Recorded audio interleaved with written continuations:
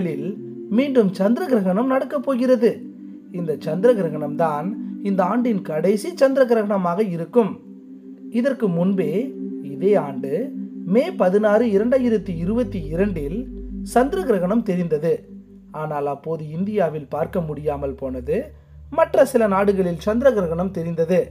ஆனால் இந்த முறை நம் இந்தியாவில் இந்த சந்திர கிரகண நிகழ்வை பார்க்க முடியும் என்கிறார்கள். சரி சந்திர கிரகணம் என்றால் என்னவென்று பார்த்துவிட்டு அடுத்து சந்திர கிரகணம் எப்போது தொடங்கும் எந்த திசையில் தெரியும் என்றும் பார்க்கலாம். சந்திர கிரகணம் என்பது சூரியனுக்கும் சந்திரனுக்கும் அதாவது நிலாவிற்கும் நடுவில் நம் பூமி வரும்பொழுது சூரியனின் ஒளி நிலா மீது விழாமல் பூமி தடுக்கும். அப்போது பூமியின் நிழல்தான் நிலா மீது படும். இந்த சமயத்தில் பூமியின் சில குறிப்பிட்ட நாடுகளில் இந்த கிரகண நிகழ்வு தெரியும். இந்த கிரகண சமயத்தில் நிலா அப்படியே இரத்த சிவப்பு நிறத்திலும் தெரியும். அது எப்படி? நிலா மீதுதான் சூரிய ஒளி படாமல் பூமி தடுக்கிறதே?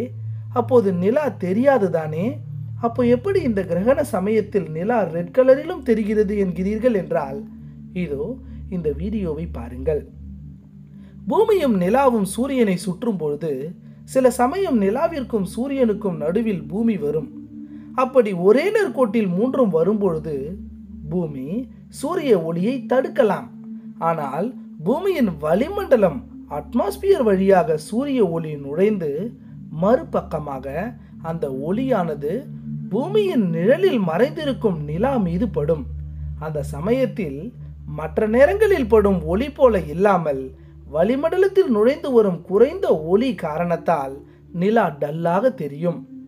ஏன் ரெட் கலரில் தெரிகிறது என்றால் பூமியின் வளிமண்டலத்தில் நுழையும் சூரிய ஒளி நீண்ட அலைநிலங்களில் ஒளிச்சிதறல் அடையும் சிவப்பு ஒளி ரெட் லைட்டை காட்டிலும் மிக குறைவான அலைநீளம் வேவ் லென்த் கொண்ட நீலம் மற்றும் வயலட் நிறங்கள் மிக எளிதாகவே ஒளிச்சிதறல் அடைந்து வருவதால் அந்த ப்ளூ மற்றும் வயலட் கலர் அந்த அளவிற்கு தெரியாது நிலா மீது. ஆனால் நீண்ட அலைநீளத்தில் ஒளிச்சிதறல் அடைந்து ரெட் கலர் மட்டும் நிலாவின் தரைப்பரப்பில் விழும்.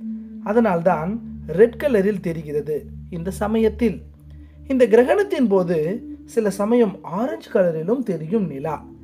இதுவே பூமியின் வளிமண்டலத்தில் அதிக டஸ்ட் மற்றும் மேகங்கள் இருந்தால் இன்னும் நிலா பிரைட் ரெட் கலரில் தெரியும். இப்படித்தான் கிரகண சமயத்தில் நிலா சிவப்பு நிறத்தை அடைகிறது. வரும் நவம்பர் எட்டாம் தேதி நடக்கப் போகும் சந்திர கிரகணம் டோட்டல் லூனார் எக்லிப்ஸ் முழு சந்திர கிரகணம். இந்த சமயத்தில் முழுமையாக நிலா பூமியின் நிழலில் முழுகிவிடும். அப்போதுதான் பூமியின் வளிமண்டலத்தில் நுழைந்து வந்த சூரிய ஒளியால் நிலா ரெட் கலரில் தெரியும். இதோ நிலா எந்த எந்த ஸ்டேஜ் அடையும் என்று காட்டப்படுகிறது பாருங்கள். இப்படித்தான் கொஞ்சம் கொஞ்சமாக நிலா முழு சந்திர கிரகணத்தை அடைகிறது. சந்திர கிரகணம் மூன்று டைப் உள்ளது. ஒன்று டோட்டல் லூனார் எக்லிப்ஸ் முழு சந்திர கிரகணம். இதோ இதுதான் முழு சந்திர கிரகணம். அடுத்து இரண்டாவது நிலை பார்ஷியல் லூனர் எக்லிப்ஸ் பகுதியளவு சந்திர கிரகணம். அடுத்து பெனம்ப்ரல் எக்லிப்ஸ் இந்த கிரகணத்தின் போது இதை நாம் கண்டுபிடிப்பதே சற்று சிரமமாகத்தான் இருக்கும். நிலா கிரகணம் அடைகிறதா இல்லையா என்பதை புரிந்து கொள்ளவே சிரமமாக இருக்கும் அப்பொழுது அதாவது பெனம்ப்ரல் எக்லிப்ஸ் நேரத்தில். நவம்பர் எட்டாம் தேதி வரும் கிரகணத்தை உலகின் சில குறிப்பிட்ட நாடுகளில் உள்ளவர்கள் பார்க்கலாம். முதலில் அமெரிக்கா முழுவதும் தெரியும் அடுத்து பசிபிக் முழுவதும் தெரியும் ஏசியாவை சார்ந்த நாடுகளிலும் தெரியும் அடுத்து ஆஸ்திரேலியாவிலும் தெரியும். மத்திய ஆசிய நாடுகள் மற்றும் கிழக்காசிய நாடுகள் மற்றும் இந்தோனேஷியா நியூசிலாந்து ஆகிய நாடுகளிலும் சாயங்காலம் நிலா உதயமாகும் போது தெரியும். முழு சந்திர கிரகணம் இந்தியாவில் எல்லா மாநிலத்திலும் தெரியாது. இந்திய நேரப்படி இந்த கிரகணமானது தொடங்குவது மதியம் இரண்டே முக்கால் மணிக்கு தான் முழு கிரகணம் மாலை மூன்று நாற்பத்தாறு மணிக்கு அடைய தொடங்கும்.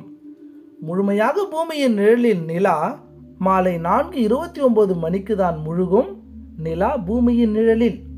முழு சந்திர கிரகணம் மாலை ஐந்து பதினோரு மணிக்கு முடிந்துவிடும். பகுதியளவு கிரகணம் ஆறு பத்தொன்பதுக்கு தான் முழுமையாகவே தெரியும். இந்த சந்திர கிரகணம் இந்தியாவின் எல்லா பகுதிகளிலும் தெரியும். ஆனால் முழு சந்திர கிரகணம் தொடங்குவதும் கிரகணம் பகுதியளவு தொடங்குவதும் இரண்டுமே இந்தியாவில் தெரியும். ஏனென்றால் இந்த சமயத்தில் தான் நில அடிவானத்தில் இருந்து மேலே வரத் தொடங்கும். கொல்கத்தா கிழக்கிந்திய நாடுகள் மட்டும்தான் டோட்டல் எக்லிப்ஸ் பார்க்க முடியும். மற்ற மாநிலங்கள் பகுதியளவு கிரகணத்தை தான் பார்க்க முடியும். தமிழ்நாட்டில் மாலை ஐந்து ஐம்பத்தி ரெண்டு மணிக்கெல்லாம் நிலா இந்தியாவின் கிழக்கு திசையில் மேல் நோக்கி வரத் தொடங்கும். சரியாக ஐந்து ஐம்பத்தி நான்குக்கு தான் கண்களுக்கே தெரிய தொடங்கும். அப்படி வரும்போதே சரியாக ஏழே கால் மணிக்கெல்லாம் முழு கிரகணம் முடிந்து பகுதி சந்திர கிரகணமாக மாறும். அதன் பின் சரியாக இரவு ஒன்பதரை மணி வரைக்கும் தமிழ்நாட்டில் கிரகணம் தொடர்ந்து இருக்கும். ஆனால் அது பார்க்க தெரியாது தொலைநோக்கி வழியாக பார்த்தால் தெரியும். நவம்பர் எட்டாம் தேதி ஆறு மணிக்கு மேல் ஒரு அழகிய வான வேடிக்கையை கிழக்கு திசையில் நாம் பார்க்கலாம். அதிக நேரம் உற்று நிலாவை பார்க்க வேண்டாம். குறிப்பிட்ட நேரம் மட்டுமே பாருங்கள். தொடர்ந்து பார்த்து கொண்டே இருந்தால் கண்களுக்கு ஒரு விதமான எரிச்சல் உண்டாகும். மற்றபடி சந்திர கிரகணத்தை நீங்கள் விருப்பப்பட்டால் பாருங்கள். பாதிப்பு இல்லை. நன்றி. மீண்டும் இது போன்ற ஆச்சரியமான பல தகவல்களோடு உங்களை மீண்டும் சந்திக்கிறேன். இது உங்கள் அன்பு நண்பன் மோகன்ராஜ்.